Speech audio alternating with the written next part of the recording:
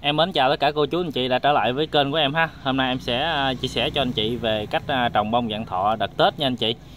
Thì à, thật sự mà nói luôn á thì em cũng ra rất là nhiều cái video về cách trồng bông dạng thọ nè, cũng như là kỹ thuật trồng bông dạng thọ từng mỗi năm luôn nha anh chị ha. Nhưng mà qua nay thì cũng có nhiều anh chị mới á nhắn tin hỏi em á thì em tính năm tới nè, hai vụ 2025 em tính trồng khoảng đâu là 500 đến ngàn chậu em trồng em bán Tết xung xung quanh nhà nhưng mà em cũng ờ, chưa biết kỹ thuật sao sao thì anh có thể chia sẻ hay không? Thì hôm nay thì em làm một cái video em ờ, tổng hợp lại ha. Thì nếu như mà anh chị mà tính trồng bông dạng thọ mà để bán Tết á thì vốn á mà để mà chuẩn bị á, thì khoảng đâu tầm khoảng đâu là 12 triệu nha anh chị. Thì em cũng có ra một cái video livestream em chia sẻ cho anh chị rất là chi tiết. Thứ nhất là về cái hạt giống nào hạt giống thì nếu như là anh chị là người mới thì nên sử dụng cái giống là B2 với B3 của của rồng vàng để mình trồng ha còn về phần giá thể thì ở đây anh chị có thể sử dụng cái à, tro đen nha anh chị. Tro đen rồi sơ dừa với cái phân dê với anh chị có thể là trộn thêm lân cho nó. Còn về phân thuốc á thì ở đây thì à, khi cây còn nhỏ thì mình có thể là mình tưới à, những dòng phân DAB nha anh chị. DAB là những dòng phân đen đen như thế này nè em mới bỏ máy hạt nè. Còn khi cây lớn lớn của mình mình có thể tưới là 30 10 10 hoặc là 20 15 có thể là cộng thêm uh, mua một số loại thuốc uh, sạch sâu như là Amsai. Nói chung là những dòng thuốc dạng cớm là xịt là ok với lại mình mua thêm cái dưỡng rễ, ví dụ như là rút 2 hoặc là N3M để chúng ta kết hợp để chúng ta tưới dưỡng rễ cho nó. Còn về chậu thì ở đây thì mình nên mua những cái chậu tốt nha anh chị. Chậu mà ví dụ như C11 thì khoảng đâu tầm 3.200 trở lên. Thì anh chị là nên mua nha, đừng có ham rẻ. Tại vì có một số anh chị rao bán, ví dụ như ờ, 2.200 cũng có mà 2.400 cũng có nữa. Cũng là chậu C11 nữa nha anh chị ha. Nhưng mà nó nó chưa hết vụ mà nó đã hư rồi. Còn những anh chị nào có điều kiện thì mua chậu như thế này nhưng mà chậu này thì nó mắc tiền lắm nha anh chị ha. Cái này cũng C11 nè. Cái này thì em đang trồng ờ, dạng thọ ban mai nha anh chị ha. Ban mai tay tay tay thỏ. Em để giống tại nhà luôn. Bữa giờ thì mấy anh chị mà mua hạt giống cà pháo bên em á cũng có xin á. Thì em cũng có uh, gửi tặng luôn nữa chứ em không có bán nữa. Đây dạng thọ tay thỏ nha. Còn ở đây thì em đang tết test giống ở dạng thọ của đồng vàng luôn nè. Cái này là giống giống mới nha anh chị ha. Cái này mã là 002 còn cái này là mã là 001 nha anh chị. Còn cái này là 009 đây 009 nha anh chị ha. Của đồng vàng cái này là giống mới ra nha anh chị. Ở đây em trồng à, test đó bữa ươm nó nhiều quá nên trồng cái chậu nó hơi nhiều. Cái này là chậu à, 4 tấc nha anh chị ha. Thật sự cái này trồng khoảng đâu là tầm đâu là 6 cây là vừa rồi nha anh chị. Mà ở đây em trồng tới tới, 8 cây luôn thành ra là anh thấy anh chị nó thấy nó bùm lắm. Mà khi mà trồng dạng thọ anh chị thì à, cái ngày mà để mà trồng bán Tết á thì thông thường thì nó sẽ rơi vào cái ngày là 25 tháng 10 âm lịch có thể có một số ờ, mã thì có thể là trồng ờ, lối 20 là đã trồng rồi. Có mã thì ờ, lối 28 trồng. Nhưng mà cái bổ đồng thì nó sẽ rơi vào ngày 25 tháng 11 tại vì nó ăn thua vào bằng cách mình bấm cây ngọn nha anh chị ha. Ví dụ như mà anh chị mà ly mà cây của mình mà nó phát triển nhanh quá đi thì chúng ta có thể là đi hai cơi. Thường ví dụ như 19 tháng 10 là mình trồng sớm. Là cái bữa 22 tháng 11 là mình sẽ bấm cơi một cho nó và đầu tháng 12 thì mình sẽ bấm cơi hai cho nó là nó làm đi mình đi hai cơi có nghĩa là mình bấm ngọn hai lần. Còn những anh chị nào mà bấm ngọn một lần á, là gọi là đi một cơi là có nghĩa là cái ngã lối 25 tháng 10 âm lịch đó là mình sẽ gieo. Và khoảng đâu cái lối là từ 25 hoặc là 28 tháng 11 âm lịch đó. đó thì ờ, thì mình sẽ bấm ngọn cho nó. Bấm ngọn có nghĩa là mình bấm bỏ một cặp lá nha anh chị ha. Ví dụ như ở đây là một cây dạng thọ đây hiện tại là ở đây mình mình à, mình sẽ tính những cái tầng lá thật của nó nha anh chị. Như một cặp nè hai cặp nè nó kiểu là như vậy nha anh chị ha, mình sẽ bấm bỏ một cặp. Đó, mình mình có thể là mình chừa lại là năm cặp lá, hoặc là bốn cặp lá để mình chơi nha anh chị, tùy vào cái sở thích của anh chị thôi. Thì đó là cái chia sẻ cho anh chị. Và cái một cái vấn đề nữa là mình phải sàn giá thể nữa. Ví dụ như ở trong cái ờ, khay dựng ươm của mình đi, khi mà mình ươm á, mình ươm cái ờ, cây dạng thọ ra đi thì mình nên dưỡng rễ nó, cũng như là mình sàn giá thể cho cây của mình nó nó chắc chắc ra. Và khi mà cây của mình mà nó được khoảng đâu là hai, ba cặp lá vậy nè khoảng đâu tầm 4 cặp lá thì mình nên thêm cái giá thể lần thứ nhất cho nó sau đó thì mình mới à, bấm ngọn nha anh chị ha.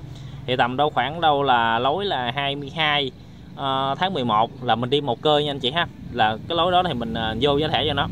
Mình vô cho tùy cái cây dạng thọ của mình á cái giá thể của nó khi mà mình thêm giá thể anh chị thì những cái tầng chỗ này nè nó sẽ à, mọc thêm rễ nha anh chị ha. Nó sẽ mọc thêm rễ giúp cho cây của mình nó không có ngã nghiêng. Nó không có ngã nghiêng ngã ngửa như mình ở đây thì mình có thể là rảnh rảnh là mình thêm cái giá thể cho nó cũng vẫn được đó nè đó, anh chị cũng có thể xem được. Ở đây thì mình sử dụng uh, giá thể trâu đen với uh, phân bọ nha anh chị ha với ờ, uh, sư dừa. Với nó em có trộn thêm một miếng đất cho nó em rải lên trên nè. Em rải lên trên cho nó có đất. Tại vì lúc này em cũng không có chăm sóc nhiều nữa em lo tập trung bên cái mảng cà pháo anh chị. Anh chị thấy em ra cà pháo nó liên tục luôn. Thì đó là một số vấn đề về uh, cây bông dạng thọ này ha. Còn về sau hồi nãy như em nói rồi nên sử dụng những dòng thuốc dạng cớp để mình xịt định kỳ cho nó và anh chị cũng nên tưới phân định kỳ cho nó. Ví dụ như cây của mình á mình nên tưới định kỳ khoảng đâu là 6 ngày một lần. Còn nhỏ thì anh chị cứ tưới là hàng gút 2 thôi. Gút 2 với phân DB mình ngâm á. Phân DB thì à, trong những video trước em có nói rồi. À, một ký phân DB như vậy là mình sẽ tưới được khoảng đâu là từ khoảng đâu là một ngàn chậu nha anh chị ha. Một ký phân DB ngâm với 5 lít nước sau đó lấy 100 c pha với thùng dồi 10 lít nước để mình tưới cho nó. 6 ngày mình tưới một lần. Ví dụ như cây của mình mà nó chậm phát triển á thì có thể là mình tưới à, nó khoảng đâu 4 ngàn lần ví dụ như ở như ở đây nè, trên một cái à, chậu đi, ở đây có một số cây mồng thọ, mà có con cây nó này, nó nhỏ nhỏ, nó nhỏ hơn người ta nè. Thì cái này mình có thể mình tưới nó ba ngày, mình tưới một lần cũng được nữa nha anh chị ha. Nó cũng không có ấy đâu con chậu lần thêm có thể. Còn cái này là ban mai tay thỏ nha anh chị, em ươm tại nhà nè. Chậu này chậu C11 em đi à, 5 cây nha anh chị ha. Em đi nó 5 cây. Đối với tay thỏ thì nó chậm phát triển lắm. Về cái thời gian mà dạng thỏ ban mai tay thỏ là mình ươm cái ngày là mùng 10 tháng 9 âm lịch nha anh chị ha và cái ngày là 22 hoặc là 23 tháng 9 âm lịch thì mình sẽ à, trồng nó ờ, vô cái à, cái vỏ như vậy và khi mà nó khoảng đâu nói chung là cái này nó trồng nó lâu lắm anh chị. Nó khác với dạng thọ ban mai thường của mình tại vì nó trồng lâu lắm nó rất là lâu tàn đó. Và khi mà nó ra được những cái bông thì mình cứ lãi bỏ thôi mình lãi hoài hoài hoài vậy đó. Nó ra tàn rất là ok luôn C11 đi 5 cây nha anh chị ha đó.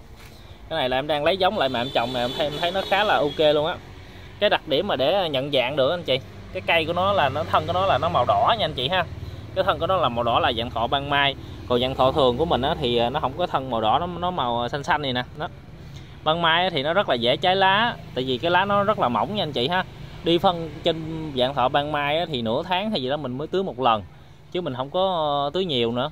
Tưới nhiều quá là nó cháy nó cháy lá với lại không sử dụng được những cái dòng thuốc dạng nóng. À, quay cho anh chị xem này là chậu 4 tấc nha anh chị ha chậu chỗ 4 tấc em đi, em trồng nó hơi dày. Rồi em, để em quay tiếp tục cho anh chị xem về hai cái chậu kiển của em ha. Đây nha anh chị ha.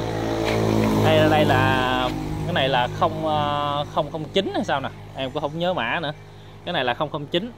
Em cũng ờ, vừa rải phân cho nó anh chị em cũng không có tưới nữa. Đây em tưới DB phân thì là em có kết hợp cái phân chuồng á. Em bãi vô. Còn ba cái dạng thọ, ban mai tay thỏ này nay nó lên nè anh chị. Nè, nó lên nè nó rụng mà nó lên nó lên thấy ghê luôn á. Ở đây thì uh, chăm sóc nó không bằng tại vì ở đây ở khúc này nè có có cái nhà em anh chị. Nó cái ánh sáng ánh nắng á buổi chiều cái nó dạ vô nó không có ánh nắng thành ra là cây nó phát triển chậm hơn. Bên đây thì nó phát triển cũng hơi nhanh nhanh nè. Đây anh chị, anh chị xem ha. Đó. cái chậu này là chậu uh, tấc mấy lần nữa. Nha anh chị ha. Cái này tới sáu tấc tư lượng sao bữa em đo em không nhớ nữa cái này là tốc độ ờ, cây nên nó phát triển nó chậm hơn bên bển. Nó chậm hơn chị ha ở đây thì em tập em tập trung là chủ yếu là đất nó nhiều hơn. Trên chậu kiển nè tập trung đất nó nhiều hơn với em rải phân DB thôi à. Chứ em cũng không có nhiều nữa. Lúc nãy có bị mấy con gà nó cắn nó mổ ráo. Em mới trồng lại cây. Đó anh chị có thể có thể xem được ha. Thì kỹ thuật ờ, cơ bản thì anh chị nên xem lại những cái video cũ của em ha. Em uh, chia sẻ uh, cho anh chị. Nè hai chục kiển em nè còn đây thì à, em trồng à, bông giấy. Này chưa không tỉa lại nữa. Này mai tứ quý. Còn đây là mấy cái à, bông nhận thọ nè. Này em đang quay góc rộng á thành ra là anh thấy cái bông em nhận thọ em nó nhỏ lắm. Anh chị. Cũng đủ thứ anh chị. Đó em trồng tại nhà nè. Rồi thì hôm nay em chia sẻ cho anh chị một số vấn đề về kỹ thuật bông nhận thọ vậy ha. Cũng như là cái vốn nó bao nhiêu đó thì anh chị cũng có thể là nắm được. Rảnh rảnh này em chia sẻ tiếp cho anh chị nha em cũng xin được ờ, mến chào.